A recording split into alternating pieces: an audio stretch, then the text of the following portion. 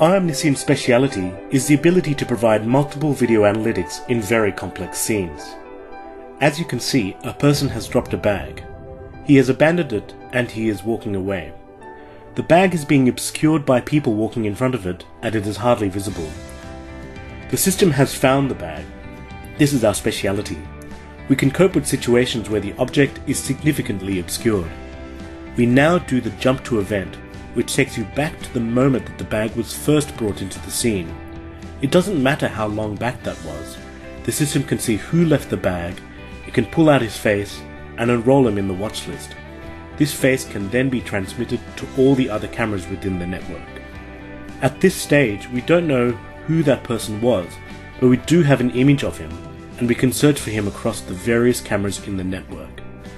Now, in this view, we have seen the person again, and we can pull out whatever additional information we have about the person.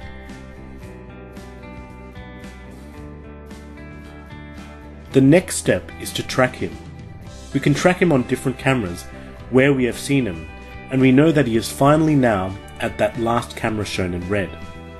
From that point, we can find the nearest policeman, and the system sends the information to him on his smartphone.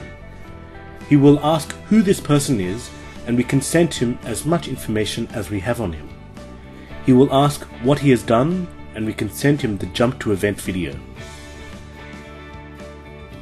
The entire process is patented.